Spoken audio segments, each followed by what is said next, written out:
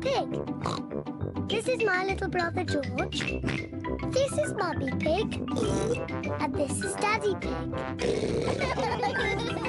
Peppa Pig. The Sleepy Princess. It is night time. Peppa and George are going to bed. Good night, Peppa and George. Mummy, Daddy, Yes, Peppa? I'm not sleepy. Can I have a story? But maybe George is sleepy and doesn't want a story. George, do you want a story? Say yes. All right, I will tell you just one story. If Daddy Pig tells you a story, you must both promise to go to sleep. We promise. Hmm. I think I'll tell you the story of the Sleepy Princess.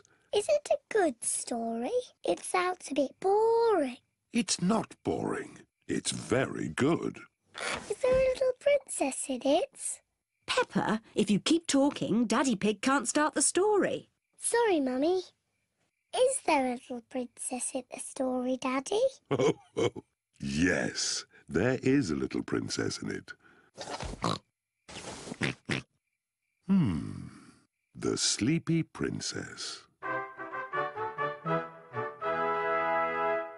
Once upon a time, in a castle, there lived a little princess, and she was called the Sleepy Princess. Daddy, why was she called that? I'll get to that later. Was the sleepy princess pretty? Yes, she was very pretty. She loved looking at herself in the mirror. I am so pretty. Who else was living at the castle? Uh, well, The others in the castle were the small prince, Queen Mummy, and King Daddy. that's right. They were all living there as well. Did King Daddy have a big tummy? Of course not. He was very handsome, like me.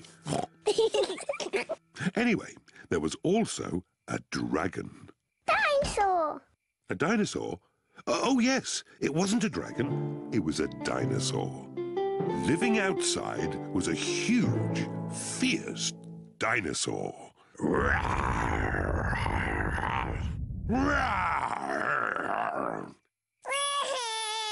Oh dear, maybe the dinosaur wasn't quite that fierce, Daddy Pig.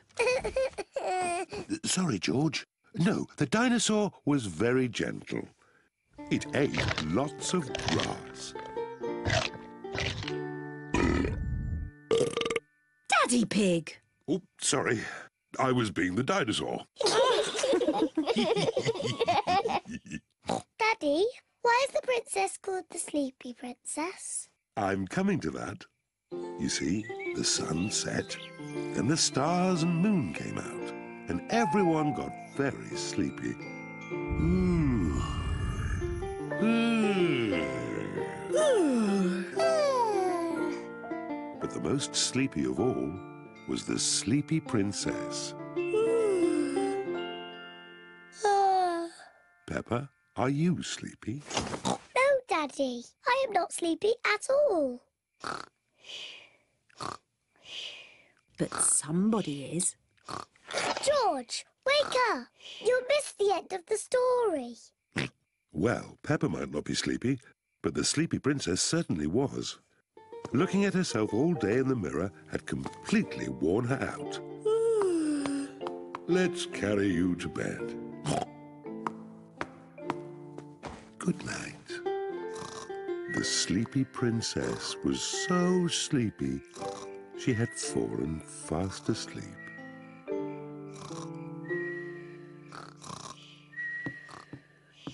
Thank you for that story, King Daddy.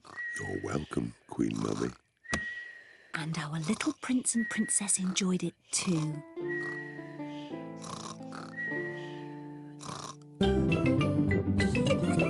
Peppa Pig. Peppa Pig. Peppa